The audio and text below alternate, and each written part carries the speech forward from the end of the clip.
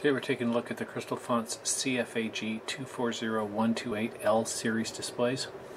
This is the STI version, which is has a nice bright backlight and a very dark blue background. It's uh, almost but not quite black. The demo is very simple. It's just some patterns written to display, solid pattern, and some vertical bars. Alternating lines. I think there's a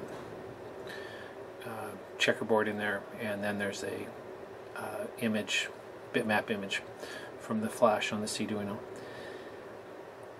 Uh, this display is a little bit older technology, but if you need a 24128 with a nice bright backlight, it uh, may be the display for you, especially if you've got some kind of a piece of equipment that needs this kind of a display and you need a replacement part.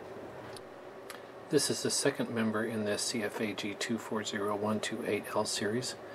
This is the TMI version. Pretty much the same. Uh, it's a little more of a bluish background rather than a dark background. Demo code's exactly the same. Application circuit's exactly the same.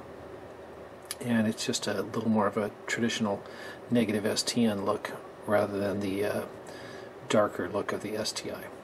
So this is the CFAG 240128L TMI display.